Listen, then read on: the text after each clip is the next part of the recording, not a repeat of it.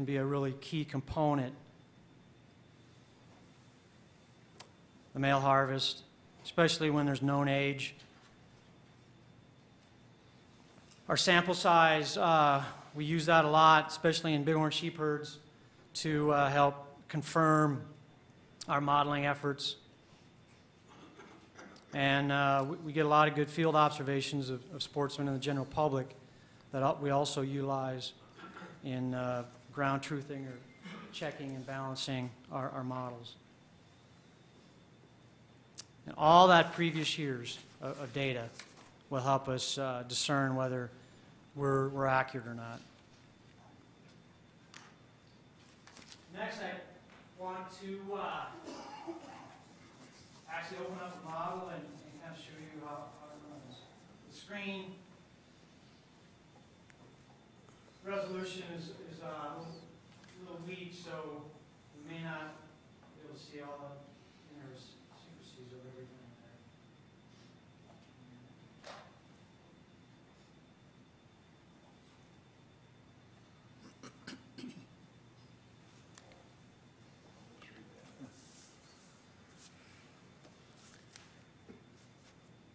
Sync.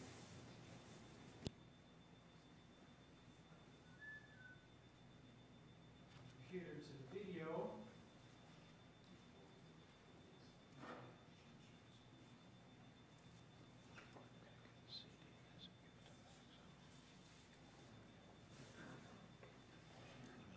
So, um, try to increase the resolution size. So we're, uh, the development of the model was, uh, in Quattro Pro, and now, now we moved into the Excel. Uh, it's a reconstructive model. We are reconstructing the actual cohorts, um, by season as, as best, as best as we can. So there's multiple sheets within, uh, any particular population model. This happens to be, uh, a mule deer model, but they're very similar, uh, for area six. This is the, uh, survey page. Um, and again, I, I'm seeing what you're seeing, and, uh, it's hard to read the numbers, but on the left side is, uh, year. We actually have, uh, this particular model starts in nineteen seventy-six and is uh, through 2010. So this is the survey page. Tony talked about uh, how we collect data. um, And so we're actually, uh, our biologists, they, they enter all their survey data uh, by point class and by gender and, and age, uh, young of the year and, and adults, into the spreadsheet and it uh, provides us with the buck ratios and the fawn, the fawn ratios. And for mule deer, uh, we, uh, we attempt to survey both in the fall and also in the spring. So we're looking at uh, fecundity of, of what's hitting the ground and surviving for a few months in the fall, and then ultimately what is being recruited in the spring.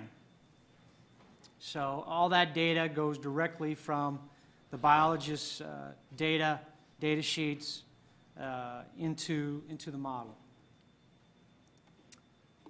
And without hunt questionnaire data, uh, we, would, we would be uh, having a difficult time to uh, discern the accuracy of these models, as Tony talked about in that example of a 1,000 animals if uh, you, you collect a certain amount uh, of bucks in your, in your survey, so you have a ratio of males to females, and you know what the harvest numbers were, the real, not just a rate, but the number of bucks and does harvested, then that removal uh, from your population can help us determine the magnitude of that, that herd. There has to be so many females that gave birth. There has to be so many fawns that survived to one, two, three, four years of age to allow for those bucks to be harvested uh, by a certain point class or, or age. So we, we put in the, uh, the harvest by point class in this sheet. Uh, For does, we put in the number of does, and then the model, the algebraic equations will uh, assign that total number of does into the age classes as they exist proportionally uh, of the total does that we estimate. So if, if majority of the does are yearlings and two-year-olds, uh, there's, there's a high likelihood that most of the does are yearlings and two-year-olds. And it, so it proportionally uh, uh, directs that, that harvest. For bucks, we know that some of our herds, we have selectivity occurring by the sportsmen, and all throughout the West, including Nevada, even though we have, we do have a lot of trophy-minded hunters, the biggest, uh, most important age class of harvest is probably the two-year age class, at least in a mule deer harvest situation. So our biologists are asked to uh, look at the point class, uh, and we are attempting to distribute point class data into age class data. Uh, So here's, here's the point class data, and then we have each column is, is an age class, one, two, three, four, five. And so our, our biologists are uh, discerning, uh, based on their best information and uh, point class information, even, even hunter comments, of what percent of the two-year-olds were harvested. So based on that, and, and there's, there's, uh, we're going to uh, try to put in something high, something low, something moderate, and, and see how that distribution plays out with the existing uh, herd that was available prior to the hunting season. So that, that's, we're going to do our best to distribute that age class. And uh, we, will we'll be talking about the uh, management bull hunt tomorrow. Uh, Larry talked about, we- we looked at this model years ago because of elk. Um, And with an elk herd, we used to collect age data. Uh, It was something that I felt was important for all of us to see.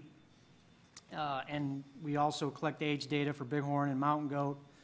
But uh, not only is it great to have the number of bucks harvested, but to have the known age or, a- or an approximation of that, those age classes that are harvested. You have to have a lot of animals out there to be killing four, five, six-year-old bucks versus if you're just harvesting your annual recruitment of bucks. So if a lot of states have, have low buck ratios, they're putting a lot of pressure and harvesting a lot of their yearlings and two-year-olds, and uh, that's, that's sustainable actually with a smaller population. But if you're growing and maintaining older age animals, uh, you have to have even a, a larger population to support those animals that are surviving to that age class.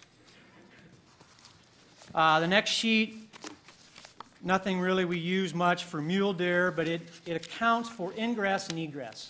So it's a big one for our bighorn sheep populations uh, and even elk herds that uh, from time to time seem to be very nomadic. Uh, uh, Sometimes they're very difficult to, to track between winter and summer range and whether they stay or go. Uh, Which seasons do they, do they come in? And so uh, we have a, a separate sheet where known ingress and egress, or, or our best estimate of that is occurring. So all of our bighorn transplants, uh, they're, they're accounted for in this sheet. Uh, The next sheet is uh, a big part, these parameters uh, are the survival rates that are kind of, you know, the, the very structure of, of any model, and uh, along with the, the recruitment of young. So we have, each column represents a certain age class, uh, fawns, yearlings, two-year-olds, we lump three to, three to 10, three to 11-year-old uh, males and females together. Um, And then the older age class, we don't have much uh, for mule deer beyond 12. But uh, this, this allows our biologists, if there was a specific seasonal event, whether it's a, a winter loss in mule deer or an extreme drought period uh, for some of our bighorn sheep or sometimes even mule deer uh, are, are uh, forced uh, to deal with some pretty harsh summers. We have the ability to uh, increase, decrease that survival rate by age class, by season. Uh, and those seasons are pretty much the spring, summer, and late fall through, through uh, early to mid, midwinter. We also have some, some basic fecundity rates. Uh, we pretty much know that every two year old doe is likely to have a fetus. Uh, what happens to that once, uh, even before it hits the ground, it's anyone's guess. But again, I'll in- inject right here the checks and balances that we have in our model. Our surveys are what's really driving this model. So uh, we can best guess, maybe there's a few yearling does that are being pregnant. Most of the two-year-old plus pregnant, are, are, does are pregnant. We probably lose that opportunity once they're 12, 13, 14. But our survey that we, that we collect, primarily with a helicopter, is what's going to be injected into that survey page, and that will kill off all the fawns that were alive uh, soon after birth. It's going to kill them off at the known rate that we collected in the field of how many fawns per 100 does that we saw in survey. Uh, and that's probably, probably the single uh, most important value that is, quote, driving this, this model bus. Uh, the next sheets are just snapshots over the course of, the, uh, of a year. We have a snapshot in December um, and uh, April and September. And again, um, I wish you could see this a little bit better, but uh, I think it's, it's a real important and, uh, part of our model is we're tracking these cohorts, cohorts through time. And for example, if we had a really harsh winter once, uh, 10 years ago, or, or maybe five years ago for a mule deer herd, we know that that fawn class is weak. And that weak fawn class is going to be represented through time. And as we get into the two, three, four year old age class, where that, uh, the, probably that takes the, the, largest amount of our harvest, uh, we know we have to look, look for that and account for that uh, when we get to that year when they're old enough to be harvested. And so we can see the effects of past influences on those animals. And then we just uh, have a results page that uh, summarizes some of the information in the model. And uh, that's, that's really in a nutshell what it's all about. All right, before we get uh, too far along and asking questions on this, since this is an action item, I'd like to open it up to public comment on it. If there's any public comment on item 8, 8, 8, 8A, this would be the time. Seeing no public comment, and we had a lot of cards, so- and most of them all said all, so I'll be looking there, It's looking up. Okay. Close public comment hearing on this, come back to the commission. Okay, go ahead. Thank you, thank you, Mr. Chairman. Um, Mike, and I'll just address you, uh, I guess. You know, I know, I know you're very sincere and very knowledgeable in this area, but I'm going to quote a little bit from a, from a scientist that I've been reading about, and, uh, and this is coming out of an article by Dr. Charles Kay, The Art and Science of Counting Deer. And uh, he goes into quite a bit on the uh, precision and accuracy of counts. And, you know, uh, like a, a precision is putting five shots in a half inch, but if they're two feet off the target, they're not accurate.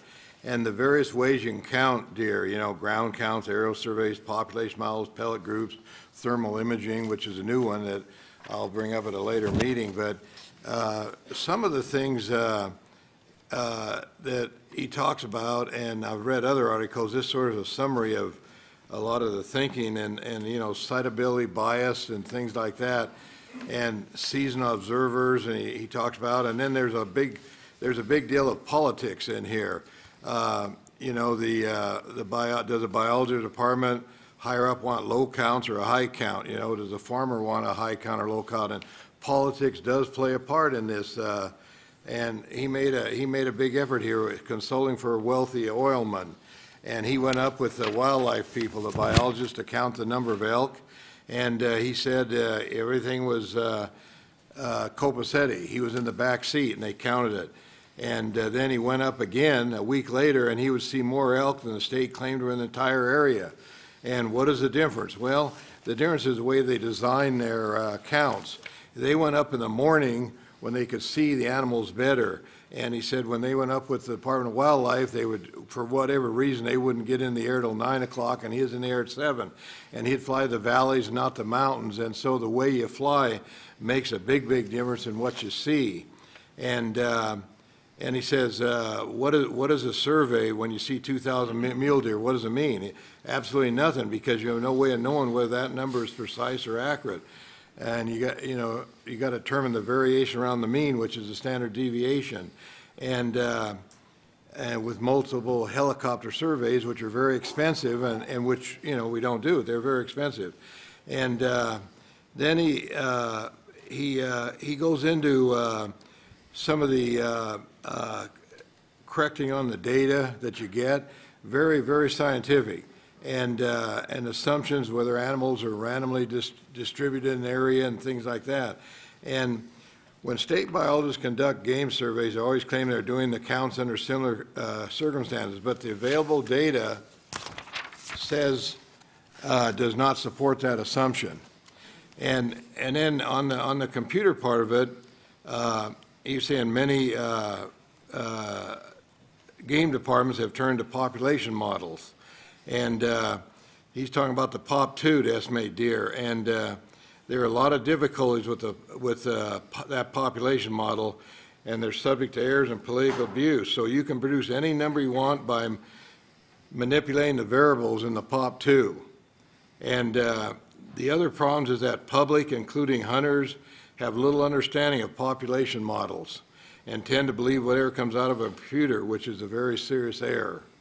Uh, You know, the POP2 is a Leslie matrix type, and it's been proven, uh, and I'll I'll mention some of the problems, and I know you got away from it when you first started, and maybe nobody knew it at the time.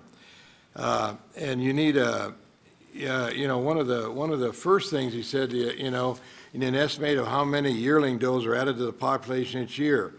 And then you have to estimate the adult female survival or mortality. It's just the opposite of each other here.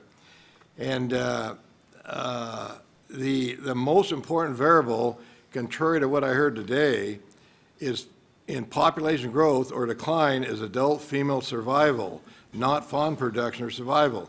If you have high adult female does survival, your deer herd can maintain its numbers, even if there is a poor fawn crop. And conversely, if you have a low adult female survival, high fawn survival will not save your herd. And that's, that's the opposite of what I heard a. And I, you know, I'm, this is, this is just ideas thrown out. I'm not here to criticize or something like that. This is constructive stuff, and I'll, I'll sum it up in a minute here. Uh, uh, Difficulties rise whenever you look at how the input variables are determined. And as you know, I'm, I'm looking, I'm doing some work on that, and, and the department's really helped me out a lot on, on the population, uh, looking at the uh, model that you're using here. And, uh, uh, and I think the, the first question informed sportsmen or women need to ask is uh, how the initial population number is obtained. Because uh, I asked that question last week, and, and I'm sure we'll get to it, and it was, your, your initial population put into the computer years ago, you had a history of 15 year, and you did use the change in ratio that gave population estimates on long-term, but it's a very, very different model if you started with 50,000 deer and 100,000 deer. It just completely changes the model, and I think you know that, so I I was going to be, uh, you know, I'll be talking on that a little bit. I think the initial population size is critical, what you, what you put into the model. And um, uh, the, uh, uh, it essentially says, for any population model, be forewarned, do you have a low population estimate or a high population estimate? Do you want a declining population or an increasing population? You get whatever answer you want by varying your input parameters, and I think that's obvious. Um, uh, uh, You're talking about world-class modeling experts, and I think that that's, that's uh, important, and I, and I'm going to make that suggestion here in, in a, in a minute here, but, uh, you know, uh, another thing is talking about partial counts.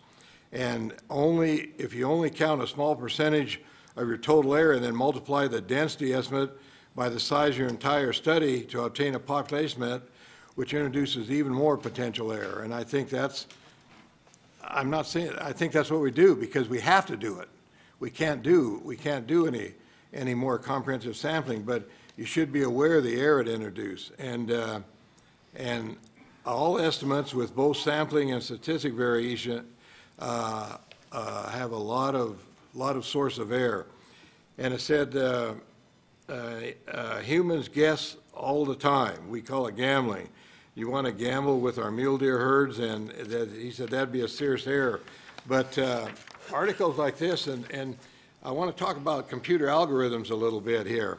And they're based on assumptions. And uh, they have a, uh, Are there specific things that, that you could ask of, of our model instead of well, I don't understand providing us what I couldn't K. even read your model, but I'll be, I want to, I'll, I'll go through that with you here, uh, you know, I'm doing it right now. But I'm just, I just want to, let me finish and, and make some just comments about it. Uh, And for the public here, you know, uh, you know, and you're using an algorithm, an algebraic formula to do this, okay? And you got to be aware of algorithms because uh, uh, the, the, I've got the algorithm that killed Wall Street, okay? And uh, this guy, this Chinese guy Li, he had this Gaussian copula function, and, and the reason it was so powerful is because uh, they priced hundreds and millions and billions of dollars worth of CDs and mortgages on it. And I will show you uh, what that looked like. And it's just an algorithm like we use on modeling, modeling deer. And this is the algorithm, it's just a complex formula. And that brought Wall Street down, billions and billions of dollars. And so, you know, you gotta be careful because uh, an algorithm could bring uh, any population down, and you've got to be constantly looking at it. And the weakness of um, the data used in the POP2 model, it incorporates very little biology, which is why many scientists have abandoned it in favor more realistic models. And I got a whole list of uh, the problems. I'm not even going to go into them. I think you're probably aware of them uh, with that Leslie matrix, how it calculates things. It was totally, uh, it totally didn't, it didn't have much biology in it. And, uh, and so, uh, like, for example, the POP2 model didn't take into male age ratios or abundance or rates of pregnancy or survival for either males or females. And uh, there's much better models out there now, and the one that you have, but the question is, do they incorporate enough biology? That's still a matter of debate. And uh, there's some, there's some excellent uh, uh, computer science out there, and the bottom line is you can goose algorithms to justify anything you want, from the probability of default on a subprime mortgage to the probability that Anna Nicole Smith will rise from the grave. And uh, I know when I checked your model, and, and I'm gonna, and I, this is not the time to do it, but you have a variable in yours called a survival rate that I sometimes wonder about it, and, uh, and it, it's a variable you put into your model. And, you know, basically, um, uh, you know, Dr. Kay's published a lot on this, and, and I'm not criticizing your department, but, you know, there's, there's some, I read some stuff by a lot of uh, scientists, PhDs mainly, and uh, uh, I think that uh, uh, I'd put his, this is Charles Kay resume against anybody's, any day, hands down. And I think this, this is, people like this you can learn from. So what I, what I would think, and, and I, I might bring it up a later deal, is, uh, and I know you're sincere and I know you're knowledgeable, but uh, I'm not saying your model is not working, but maybe we need reviewing by a computer modeling specialist. I don't know if you ever had that done, but there's people out there can review this whole process because right now, we're in a declining deer herd population. And, and I would like as a commissioner to see if there's anything we can do. And I'd like to, and, you know, the modeling is the start of it, you know? Uh, Field observation by sportsmen and the public, you hit it right on the nose. I keep getting hounded, you know, every week by sportsmen out there and saying, there's no deer, there's no deer, there's no deer, we gotta do something. So we gotta start with the seasons and the quotas and the hunting and, and the modeling of it, and I'd like to take a better look at this model, uh, on a, on a fine tune by maybe professionals, because it's no, it's no problem, uh, maybe we're not taking advantage of all the science that we can. Uh, Maybe it's a lack of time. Maybe it's egos. Maybe we're not wanting to change. Humans are, humans don't want to change. Uh, Maybe we're not up to date with the latest philosophy and taking advantage of the latest. I don't know, but it's something that I think we as a commission should look at. Maybe, you know, think outside the box. Maybe we need some different thinking.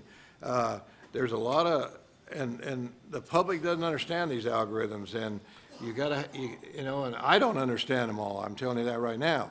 But there's professional modeling specialists out there that would be glad to take a look at the computer and give us a report back, and, uh, I always, I always welcome any kind of criticism I get if it, it's gonna make a better product, and I, I would think you would want it too, and I, I, sure you'd wanna do it, you know, but anyway, that's all I have to say about this. Okay, Mr. Vogler? Mr. Gilbertson, could I speak to you?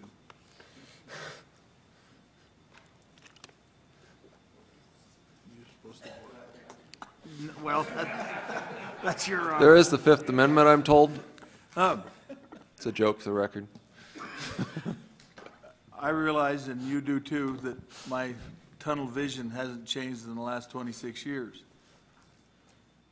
We have conflicting ways to do something. In private enterprise, I have to deal with solutions. Mother Ray at the PCA demands I pay the money back I borrow.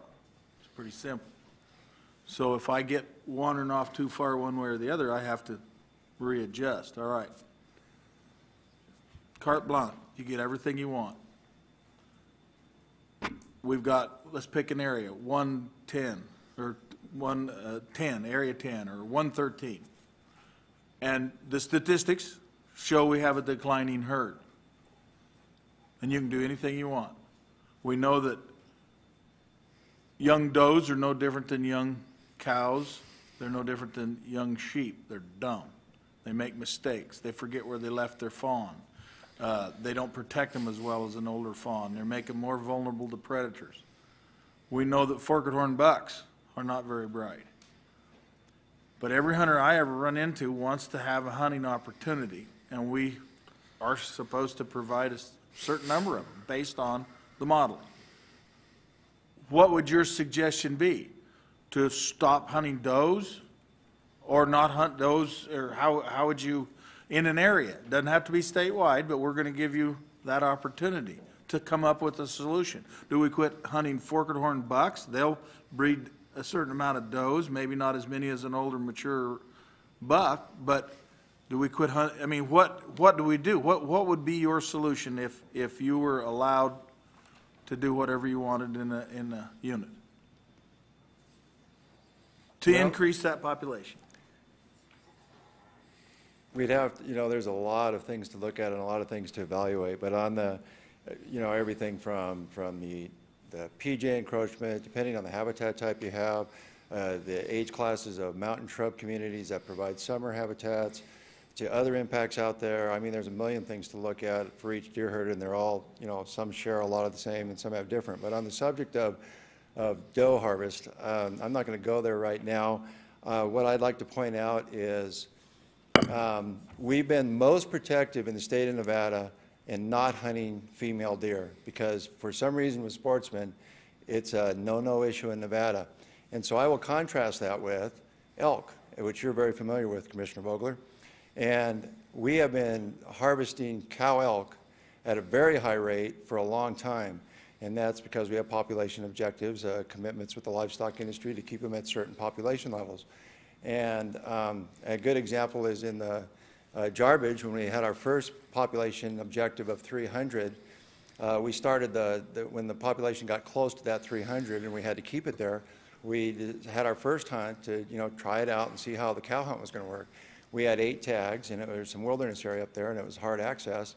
And we went from eight tags to 50 tags to 200 cow tags on a population of 300 elk, a total population of 300 elk. We had 200 cow tags, and we did it for several years to keep that population at 300. In contrast, during those years, we had some doe recommendations, and I was at some of the same county game board meetings, and we just got done talking about an elk population of 300, and we sold 200 cow tags. And they'd look, the same board would approve that, no problem, and they'd look at a deer herd that had 3,000 deer, 10 times more deer, and we couldn't get a quota of- of 15 or 20 doe tags out of it. Another species we hunt hard is antelope. You can look at our antelope populations in northern Nevada, especially up in the Elko area, where we've got limited deer, or uh, limited winter range for, for antelope. And we've been harvesting uh, female antelope like crazy up there. And on top of that, we've been trapping and transplanting out of those populations. And they continue to perform. When a population is challenged, they perform, they produce, and that population maintains itself, and we continue to do that year after year. And the final thing I'll point out would be the river mountains, bighorn sheep. We harvest a lot of uh, female sheep out of there. It's called trapping and transplanting. And uh, Pat Cummins, if he's still here, could tell you the numbers, but we've removed a tremendous number of female bighorn sheep out of the river mountains. That population continues to thrive and do well. Deer is the only one that we don't, so that's, there's- Okay. but there's a lot of other factors besides how we, I'm how we just- harvest animals. Larry, maybe you didn't understand my question. I, the other's just modeling, statistics. We've got other herds that are going up and down, but one thing we all pretty well agree on is that we're, there's a problem with the deer. In some areas, there are those that believe that it's competition with the elk, and there's lots of reasons that may be out there. But if you had one unit and you were going to increase the number of hunting opportunities in that unit, what would you do? Would you continue to, no harvest of, of- of females, uh, no harvest of forked horns? Well, based on what I just said, no harvest of females wouldn't be the- necessarily the best thing to do. Again, you'd have to look at what are the limiting factors in that particular herd and, and see if you can afford to or are even able to make the changes necessary. I mean, some of the urbanization on the Sierra Frontier, we're beyond uh, being able to help some of those deer herds. The winter range is gone. So it depends on the individual herd and what, what's really available, what you can do. Um, and as far as, you know, collecting data and that kind of thing, and population models, if, if Commissioner Lang can find some sort of a population model that, in- that increases deer, boy, we'd buy that, that'd be pretty amazing.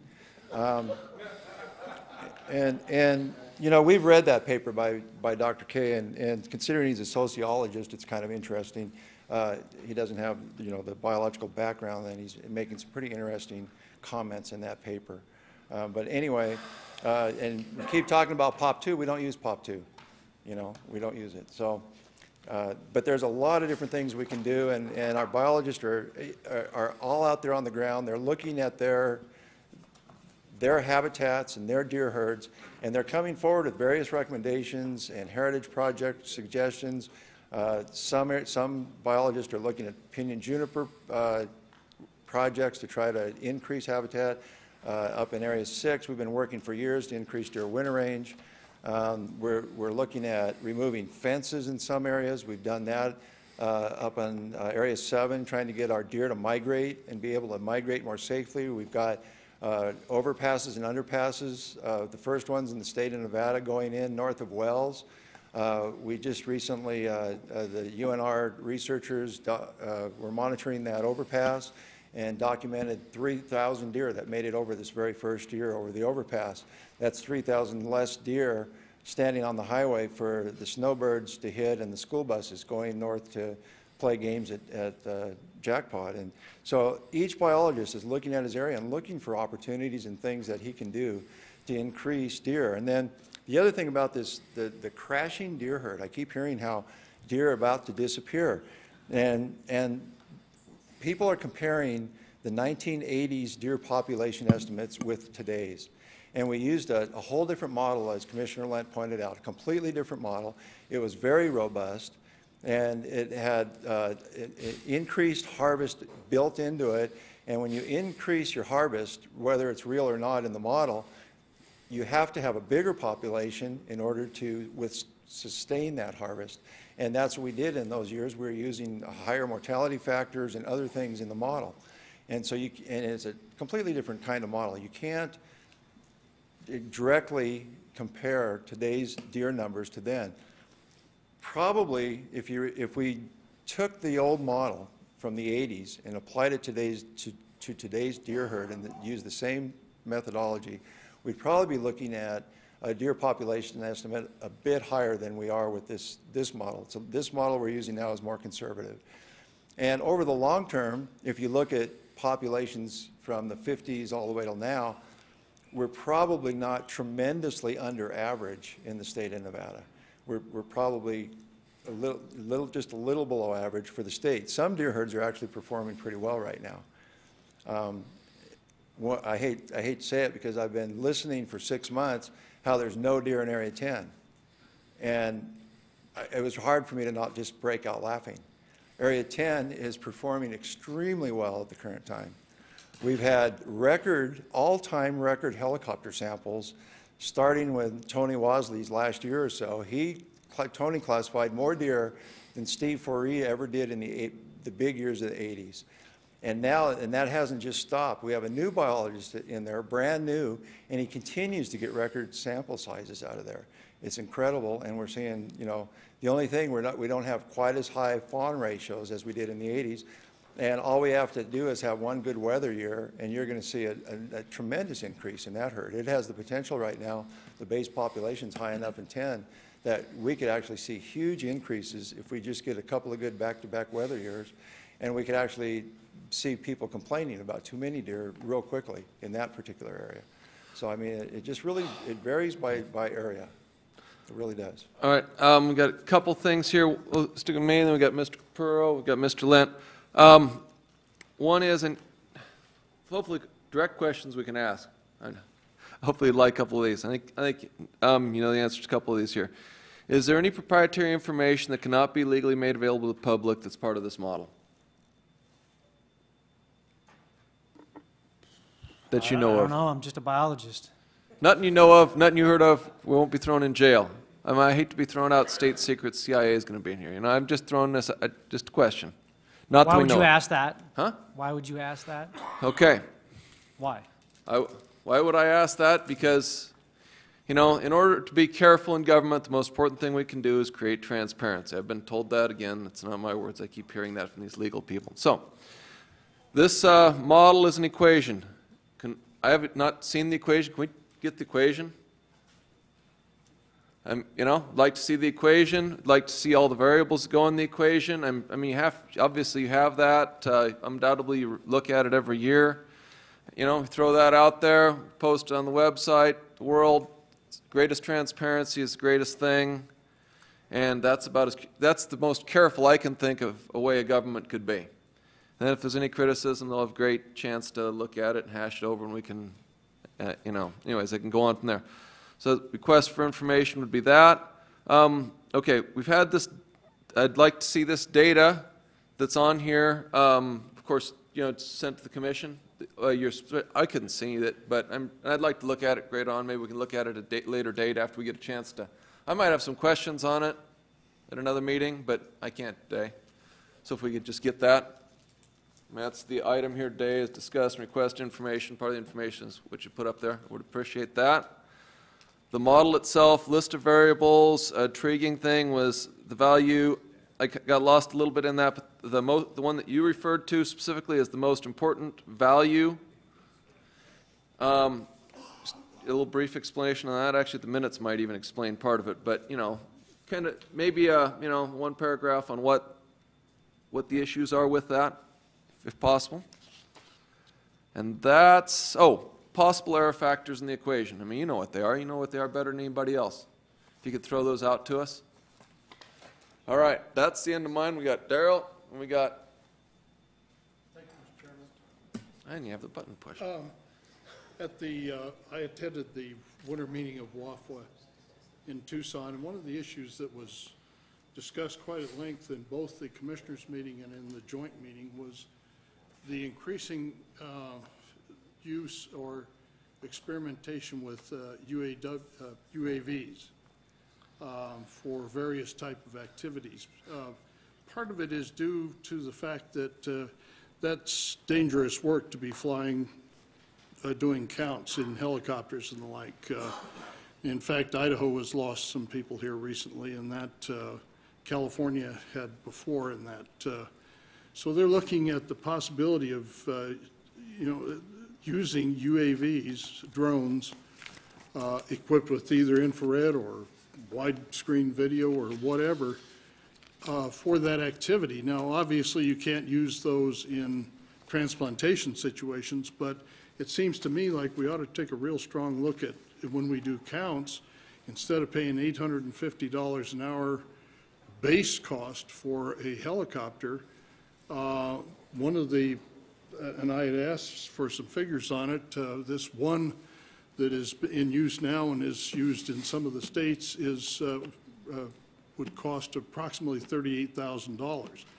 Now, obviously, that doesn't take into account the user time, you know, but they do indicate that probably biologists could be trained to operate those UA UAVs um, and uh, would reduce the risk for loss of, of uh, personnel, uh, and actually could provide, because of their ability to loiter in areas and that, a more accurate uh, situation with regard to counts.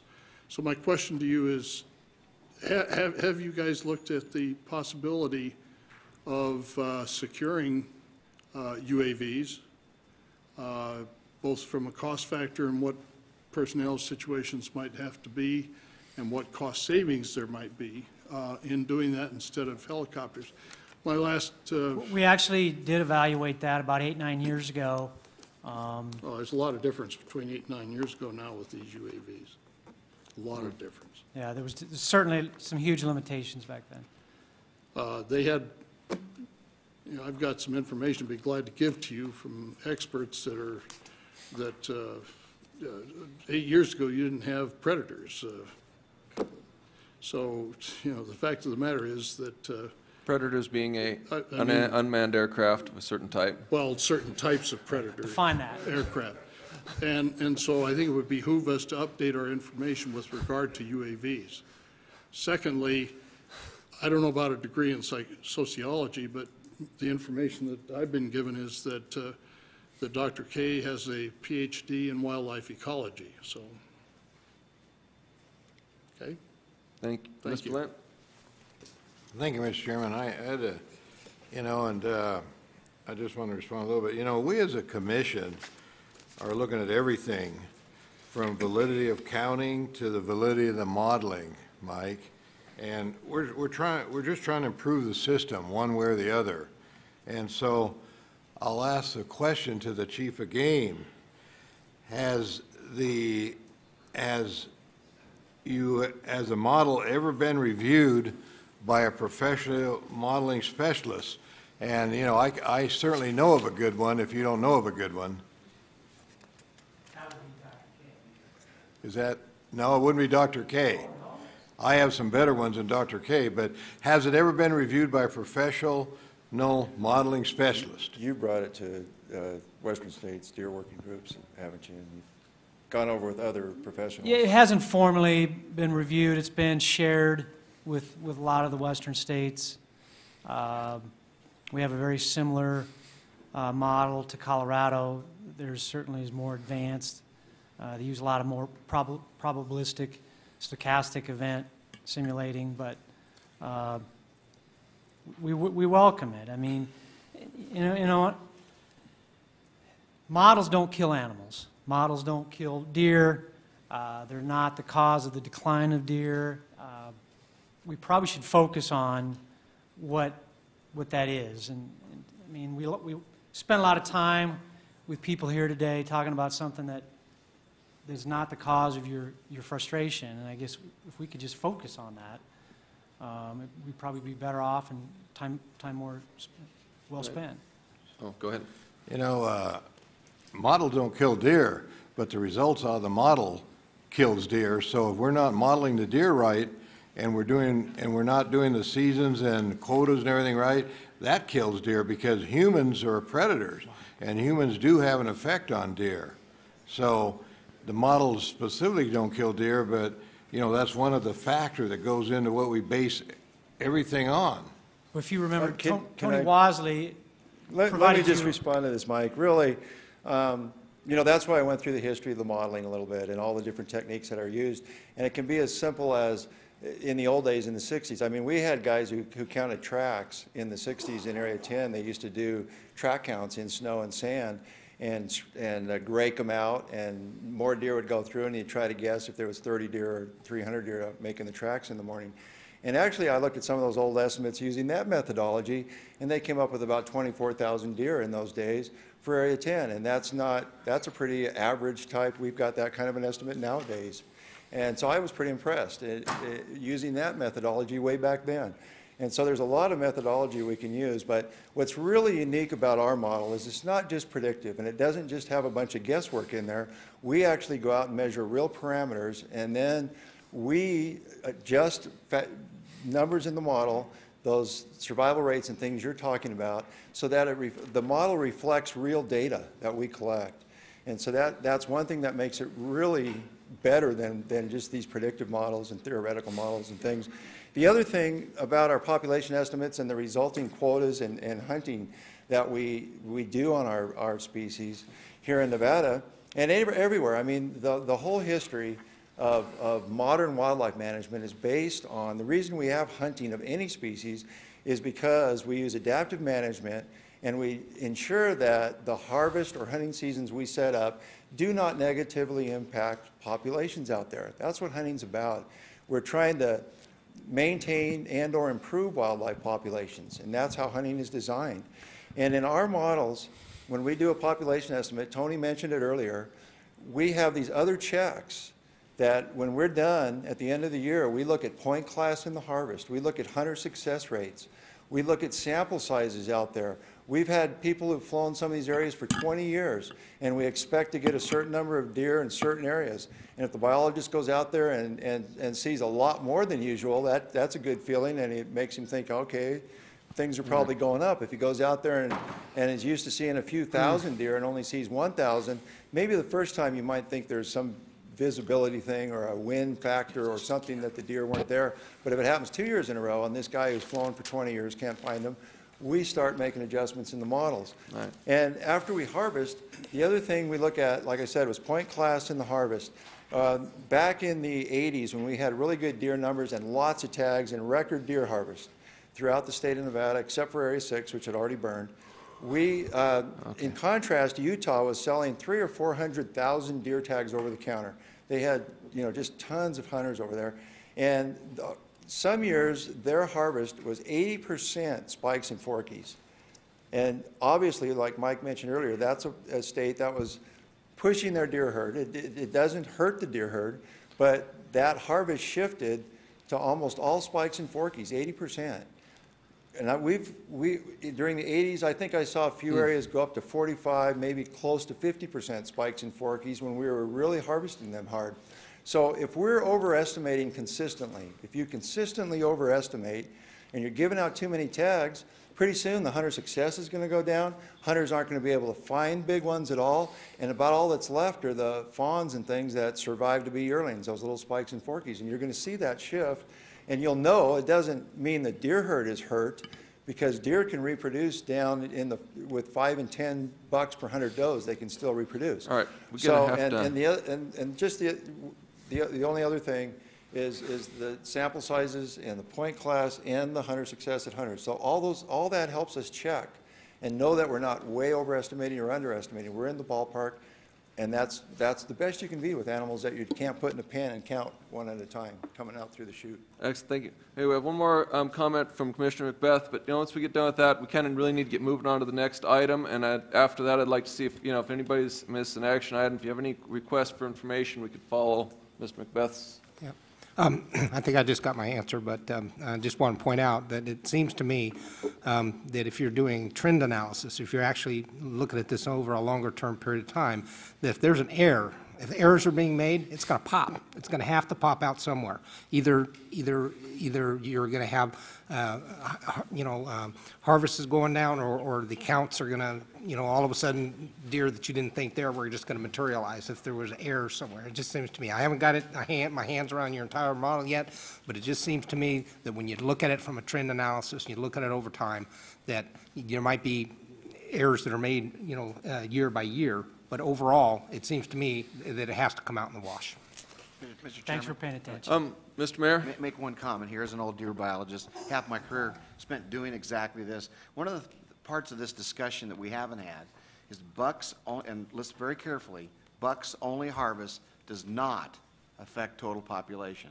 So what we're talking about here is the number of males in the population, not the population crashing because we issued too many buck tags. The last time I checked, bucks don't make other deer. They got to have a doe. So that's why we're very careful on the antlerless harvest side of things.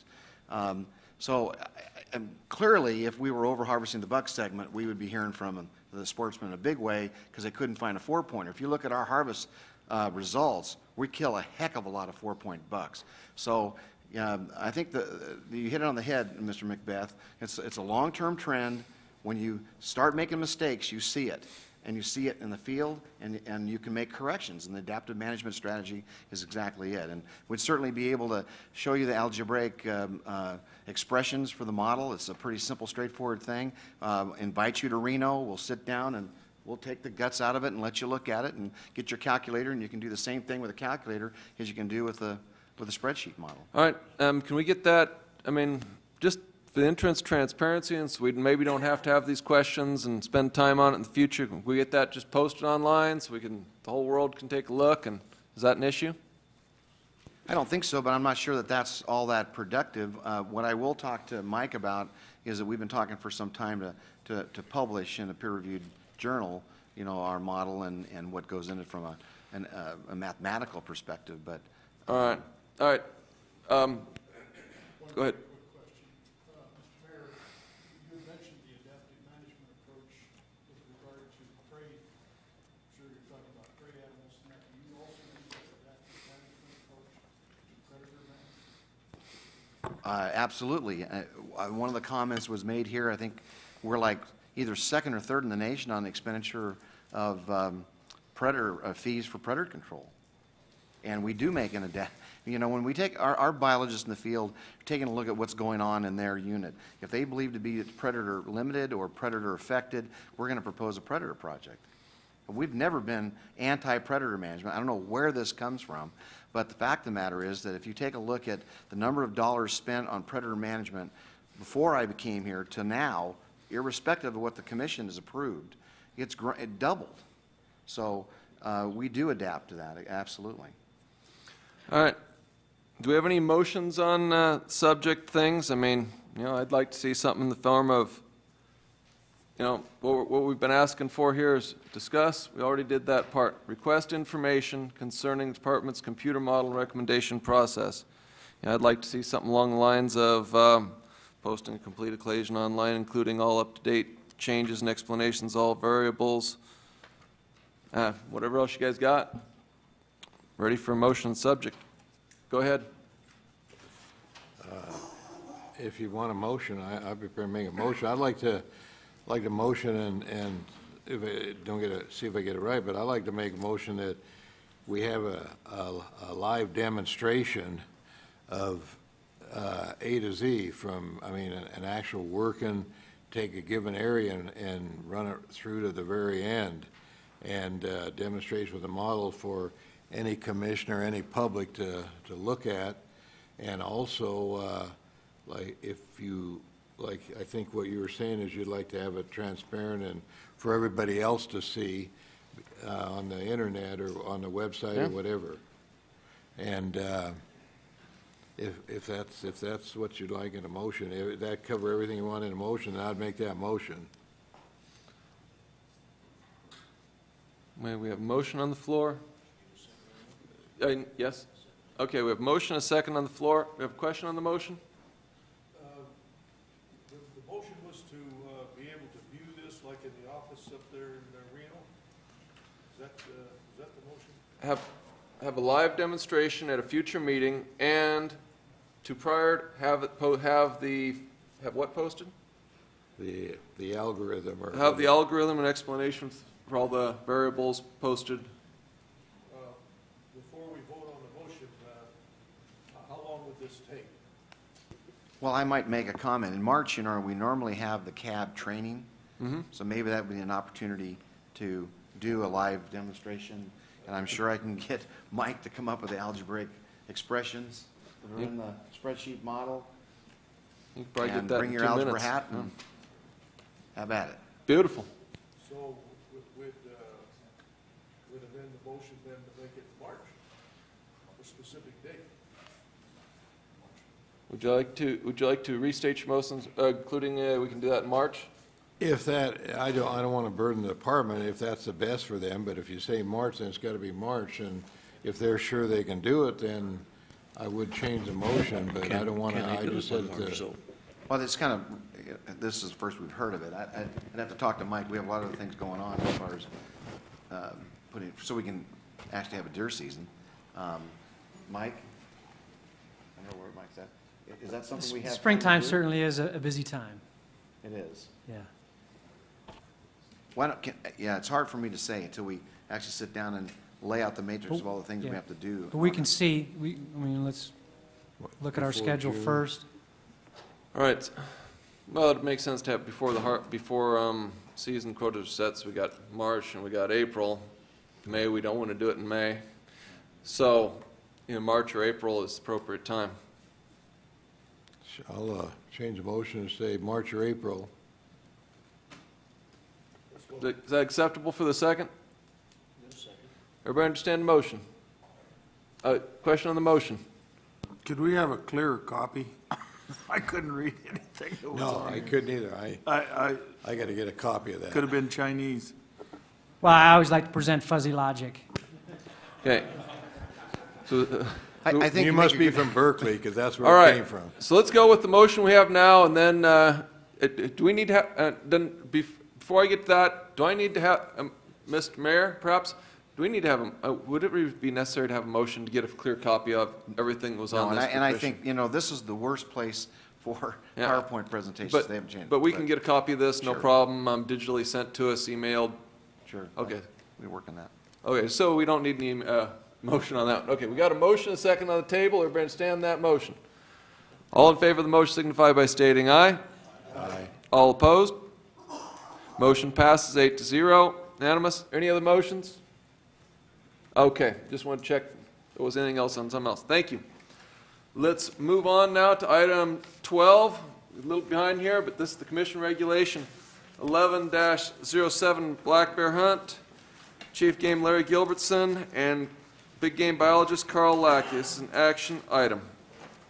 Um, We got quite a bit of support material on this. Do you want to just give, give us the brief rundown on what, all the stuff you sent us, the most recent?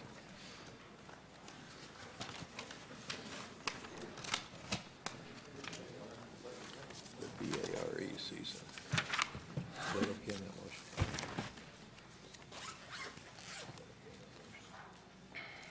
That's great. You'll start, or you want me to? I, I guess I can, you know, basically, we were charged by this commission to bring forward uh, the regulations and CR necessary to implement a, a bear season. And um, so what we brought forward to you today is uh, our best assessment of a conservative uh, approach to bear hunting that will do, like I mentioned earlier, uh, ensure that uh, the consumptive use of bears will not result in a negative impact to our bear population in Nevada. And so uh, with that, Carl can uh, give you any answers to any questions you might have. Um, I think before we get too far on, I'd like to hear public comment. Um, Unless we have any specific questions, we want to go before public comment, go ahead. Thank you, Mr. Chairman. Uh, Carl gave an overview at the, two of the CAB meetings that I attended, and I think it'd be prudent if he could do that. It only takes a minute or two for him to go through uh, basic population. Uh, The presentation that you did at the CABs, Carl, just basic population, structure, uh, data that you have collected, and Okay, yeah. the the brief history. All right, well, the, the numbers that we came up with um, was from a data set that I started collecting in 1997 through 2008. Obviously, I'm still collecting that data, but the, but the analysis was based on data collected up through 2008, about 12 years' worth of data. We had over 700 occurrences in that data set, uh, occurrence being each time that we handled a bear. Uh, About 420 individual bears in the data set. Um, When we started analyzing it, and I will say that we had a professional population ecologist uh, analyze the data set um, over at UNR. That's what he does for a living. He used Program Mark, uh, which is a mark recapture estimation. I don't want to actually call it a model, it's more of a mathematical analysis, very complex mathematical analysis. We sat down together. um, I gave him, and we di- we discussed different parameters by which that, that uh, analysis, analysis would work by. And then we started looking at the individual bears. Um, We did a few things. We combined all 138 months of the study period into four three-month capture periods per year, seasonal capture periods. And uh, briefly, we had to remove about 223 bears from that analysis. 223 out of the 420 were removed from the final analysis because they didn't fit the criteria of the analysis. And by that, I mean uh, Program Mark relies on the probability of an animal being in the population, marking that animal, and then the probability of that animal being in the population at a later date, uh, and and the chances of recapturing those animals. We removed 60-some-odd cubs, uh, 61 cubs that were, that I had tagged as indep, or as dependent cubs, but they were killed before they became independent. So there was no chance of them being in another occurrence in the data set. Uh, We removed 161 untagged bears uh, that were dead on their first occurrence, bears hit by cars, things like that, uh, that obviously, again, had no, no chance of making another occurrence in the data set. So 197 bears in the final analysis, and then that analysis gives us a lot of our population demographics, uh, quarterly survival, annual survival rates, um, the rate of increase overall for the population, the global population size for that core population of that study area, uh, things like that, all those numbers that I've, that I've uh, given to you guys before. Um, Some of the data was called into question.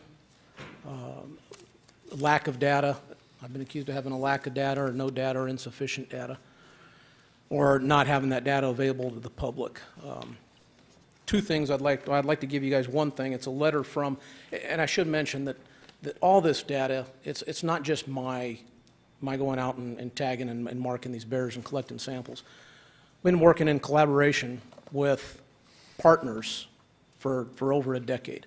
The main one being which is Dr. Jon Beckmann with Wildlife Conservation Society. He got his PhD at UNR working on these bears, and we continue to work together. I have a letter from him um, you guys can have a copy of, just inform, just attesting to the quantity and the quality of the data, and that it was collected in a, in a scientific, a rigorous manner. I'll give those to you. Um, The other thing I'll point out is that I've been extremely transparent over the years with the information we've collected on bears. We've written Black Bear Management Plan, Black Bear Bulletins. Um, I write an annual status report. I have done that since 1998. And that annual status report